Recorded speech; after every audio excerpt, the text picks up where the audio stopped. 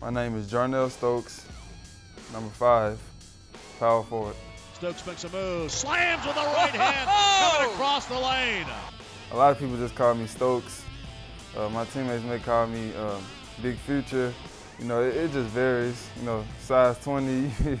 I've heard it all since I came to UT. Like I grew up a Tennessee fan, so just being able to play here and being on the court at Thompson Boling Arena is, is a dream come true.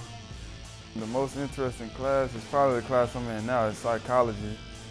Uh, we talk about a little bit of everything. We, I couldn't even say on camera the stuff that we talk about in that class, but it's, it's interesting. It's things that um, I think the average college student should be educated on. I like listening to Lil Wayne. I start listening to Frank Ocean more often. Um, you know, I, I listen to a variety of songs. Now, a lot of times I just play Pandora and just fall asleep listening to Pandora. Uh, a lot of people don't know that I have a hidden ta talent, and that's uh, playing chess. Uh, I, I, love playing chess. I was at Wendy's the other day with my teammate, D'Montre. You know, it was some old guys, you know, playing chess.